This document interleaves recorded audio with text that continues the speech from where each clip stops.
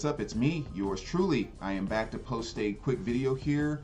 Uh, just jumping on board to give a congratulations and celebrate uh, Richard McCook, his uh, three year anniversary in the VC. Um, a lot of times as I, as I find these threads and contests, I saw some responses that a couple other people had done and really liked the questions and wanted to kind of jump on board and come over and uh, give Richard a congratulations and, and jump on board. So let's just kind of dive right into it. Uh, it's a celebration of three years, so there's three questions revolving around three. And so question number one is pick three artists from your collection that show their best and worst album. Uh, and, and as he kind of pointed out within his video, you know, worst not being it's garbage, but just if you have to rank them, what's what would you say is the worst? So I tried to go with some artists that maybe I don't talk about as much, as well as artists I had at least five studio albums by. So the first one that I'm gonna kind of do a ranking with is Lenny Kravitz. Definitely an artist I've loved for quite some time, and uh, I actually had a hard time deciding which was his my favorite album. So I pulled them both out and said I was gonna decide right at the minute I made the video, and I think I'm gonna go with. Uh, I think I'm gonna go with Let Love Rule. Probably my, my favorite Lenny Kravitz album. And even though it doesn't necessarily have, like if I think about my top five favorite Lenny Kravitz songs, they are not on this album. You know, it's, it's more of his kind of rock slash, you know, kind of psychedelic feel type of stuff, old school rock stuff. You know, like Dig In and Are You Gonna Go My Way and, uh, you know, stuff like maybe even like I Belong to You, on and on and on. But uh, like I said, my top five Lenny Kravitz songs aren't even on this album, but this is definitely from start to finish my favorite Lenny album to listen to. Uh, it's a little more kind of mellow. He doesn't really go into his rock stuff on this. It's a much more slow tempo, laid back album from start to finish. And uh, it's kind of actually interesting to see where his career went from this album, where he really kind of just picked up his, his heaviness, if you will but fantastic album, beautiful stuff on there. So I would say that's probably my favorite. Uh, the runner-up it was competing against what it was Lenny. So I guess I have to say as of this very moment, this is my second favorite Lenny album. but uh, my least favorite out of all of his stuff, I would probably have to go with this one here. Just Raise Vibration which is from 2018 actually. So it's kind of you know one of his more recent releases. But it really is a it's a good album. It's a good listen. There's not like any one or two particular songs. It's like all of a sudden, oh, that's making its way into my top 10, you know, blah, blah, blah.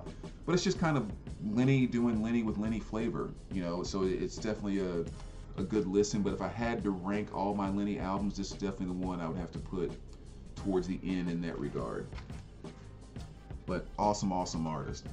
So next I'm gonna go with is gonna be Ice Cube. I thought that'd be another good one. And to me, Ice Cube, because you know he has a ton of different albums that are out, but really this revolves around um, basically five albums, which is America's Most Wanted, uh, Lethal Injection, Predator, and Death Certificate, and Bootleg and B-Sides. Like to me, those five albums are Ice Cube. So those are the ones that I'm choosing between here. Um, so when I think about my favorite out of all of those, ironically, I, actually I shouldn't say that ironically, but um, Ice Cube bootlegs and B-sides. I think this is my favorite Ice Cube album. Uh, which basically all this album is is songs off of those albums I just named for me for the most part, just remixed versions. But the remixed versions, if you saw my last video, what I was talking about with EPMD and stuff like that, he basically kind of went and just remixed them with beats that were and uh, samples that were just kind of the old school electric kind of heavy thicker funk type of stuff. And it just with cube's vocal delivery the it, like it just mm, just a, like a match made in heaven. So he improved so much in my opinion on what were already great fantastic songs. He actually took them to another level on bootlegs and b-sides so definitely still my favorite Ice Cube album. And when I look at the five that I mentioned, and this was kind of shocking to me actually, if I had to put them in order, the one that would be at the bottom of my list would be America's Most Wanted. And before I even started thinking about answering this question, you know, I actually would have thought this would have been maybe my pick for my favorite Ice Cube albums. It was it was kind of interesting, but I just pulled all five albums out and I was just looking at the track listing and thinking about them. And when I was just, I was like, no, this would actually be the one that I would, I would put last out of those five. Yeah, and you know that's saying a lot because this is a freaking fantastic, legendary album right there. But uh, and then the third one I picked, third group I decided to do was Accept. Again, another group that's had a, a long, long you know, history from the early, early 80s, you know, and still putting out music last year, you know, new albums coming out. So my favorite album by them, I would say, again, especially thinking about just listening to from front to back, Blood of Nations. And this came out in 2010, uh, which again, for a group that has been around for so long, of course they had Udo in the early years and, you know, wasn't with them anymore, but but still, the one thing that was so magical about this album to me was came out in 2010 and it was such a flashback to old school accept metal. And i just absolutely love the vibe that came off of this album. Um, with songs like uh, you know teutonic terror and just, I mean, just all all kinds of fantastic stuff. Great great album. So that's probably my favorite by accept my least favorite, if I, if I, if I was ranking them all, would probably have to go to Eat the Heat. And this is uh, from 1989. Now, again, you know, I don't keep anything in my collection I don't actually, you know, like. Um, but at the same time, it's very easy to see on this album, which came out in 1989, with Accept being so big in the early 80s. And, well, let's put it this way the, coming out in 89 i really feel like this album is one where they kind of got lost in what was going on between glam hair metal and all of that it's kind of like they weren't glammy enough to where they were able to compete or deal with what your Motley Crues and Poisons and Warrants and all of them were doing, and weren't melody friendly enough to deal with with that. They also weren't able to kind of deal with what was going on since 1986 had kicked in with you know Slayer and and uh, with everything that was released by you know like Slayer, Metallica, Megadeth, and, and how thrash was starting to take a little hold with the heavier stuff, Maiden. And this album just really kind of feels like they got caught in between and just really didn't know what to do. Uh, so I think that's kind of the fact that you can sense that to me is kind of what makes it one of my least favorites albums right there, but uh, least favorite by by them in their catalog. But still, definitely worth the listen, and um, you know, all Accept is good Accept, in my opinion. Love that band. So, question number two: Show three albums. Um, yeah, or oh, three albums you have on CD, but would love on vinyl or vice versa. And I think I misread that question when I first read it. I was thinking three albums that I have on CD that have not been pressed on vinyl, or I wish they would press on vinyl, and not just my want list. So I think I kind of answered that question wrong, but um, so that's how I'm taking this stuff I would like to have pressed on vinyl or have reissued on vinyl. Uh, and I didn't want to use the same ones that I always talk about, you know, because Godsmack, Awake, Faceless, and Four are is on the top of my list. And if the labels came to me today and say, We'll press anything you want to have pressed, Brandon. What do you want?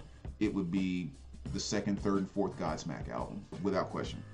Uh, and then also, I just had to show this, otherwise I wouldn't feel comfortable. That seal, this out, this one in seal four, on top of my list.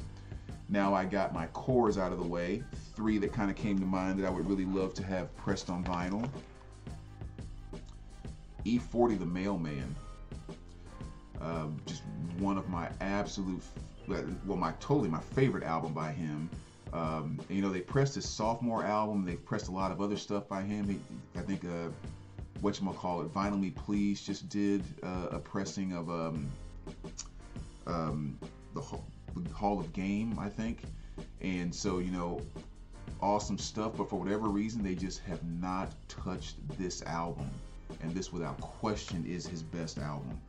Uh, every single song on here is fantastic. Just another one that kind of goes back to my youth and a, a, tape that I just played to no end. So that's one I like to have pressed on vinyl. I thought it was kind of fun as I was flipping through my CDs, thinking about the question in the way that I was thinking about it of wanting to have things pressed. And we've done that over the years, and I thought it was kind of cool because so many things that I can remember saying I wish they would press that on vinyl has been pressed, and I have in my collection. So they've actually doing a pretty good job, I guess, of getting back to stuff, especially that 90s stuff. But this is one they still haven't touched yet. Uh, Paula Cole, This Fire, one that I would love, love, love to have on vinyl. Um, you know, very well known, obviously, for the big hits like I Don't Want to Wait or Where Have All the Cowboys Gone. But songs like, you know, Me, Tiger, Hush, Hush, Hush. I mean, from front to back, this is a fantastic album. And it's just, it's one of those 90s albums I just wish they would get around to putting on vinyl. Not to mention, I would just love seeing that artwork on a, on a 12 by 12 would be really cool. So, and the third album I would love to have actually pressed on vinyl would be Yes I Am by Melissa Etheridge. Uh, and I shouldn't say press, it's been pressed before, but you're going to pay 150 or 200 dollars to get a, a nice copy of it. Uh, so I guess reissues is a better better word. But um, yeah, I mean like Yes I Am is just oh, just so fantastic. You can get her first couple albums on vinyl, which by far are not her best. They've been doing more of her recent stuff that comes out, but the in between where she was killing it, where she was kind of at her peak, if you will, they just will not get back around to doing that stuff. So, yeah, yes, I am. I mean, I would even take uh, Your Little Secret. I actually pulled both of these out thinking, you know, I figure out which one to choose, but just any of that Melissa middle ground era would just be awesome. So those would be my three artists there. And question number three show three artists where the best of is really all you need. Another really good question. So the three I came up with one, Kenny Rogers, 21 number ones. And saying all you need is not saying there's not a ton of great B sides and stuff like that that you'll get by going to their studio albums, but just kind of saying you'll get a lot of the you know the flavor the greatness and just an album that will keep you really really happy and experiencing this artist if you hadn't if you never did pick up anything else. And kenny rogers 21 number ones is definitely one that's right on that list. You know you, you get a few b-sides on here that maybe people aren't as familiar with but of course you get the gambler lady um, you know islands in the stream all the gigantic hits that everyone tends to know uh, my favorite song on here is um, Love Will Turn You Around. Awesome, awesome track, but just a great, great listen here. Great, great album. Kenny 21. Uh, another greatest hits that I think could be all you need. Wilson Pickett's greatest hits. Just a fantastic two LP set. Uh, and with the and with the length of some of the songs and the way the album is cut, I mean, it, it sounds great but they were also able to squeeze in quite a quite a few tracks on this. So again, again, there's tons of Wilson that you want to hear, but if you only ever had this greatest hits, you know you'll definitely just have a chance to experience all the greatness of Wilson Pickett. So everything from his gigantic hits like in the Midnight Hour, Mustang Sally, 6345789, on and on and on, um, to stuff like Hey Jude, uh, I'm in Love, I found a true love. You keep me hanging on. I mean, just, mm. Matter of fact, I am going to spin this as soon as I click the stop button on this video. And the album is just so fantastic. So didn't have any other Wilson, that's definitely all you would need. And my third pick is Matchbox 20, Exile on Mainstream. And again, with a band that has you know, a number of big records and a lot of hits and so forth, I think from a greatest hits perspective, this is kind of all you would need. Again, not saying you should not go check out their albums because there's fantastic stuff you would miss, but if you had to only have a greatest hits, this would be pretty solid. And I think the good thing about this is that uh, yourself or someone like you was really kind of their gigantic album and had you know four or five just major like, huge hits on it. And in my opinion, their albums that followed, great albums, but it was a hit here and a hit there on what were overall, you know, decent, good albums. And that basically what this greatest hits is, is it's yourself or someone like you. It's all of the great stuff off of that, and then those small nuggets from the albums that came after that were fantastic. So I think that makes it a, a nice, nice one to have. I mean, not as easy to find on vinyl, of course, so that might be a little bit of a challenge. But it's also, I mean, I have the CD of it as well, so it's pretty, you know, easy to get your hands on that. But yeah, I think that's a greatest hits that that would kind of cover a good chunk of your your Matchbox 20 needs. So uh, anyway, there you go, Richard, man. Again, congratulations on the three years. That's absolutely huge. And uh, let me know what you think. And as always, we will talk to you soon. All right, take care, VC.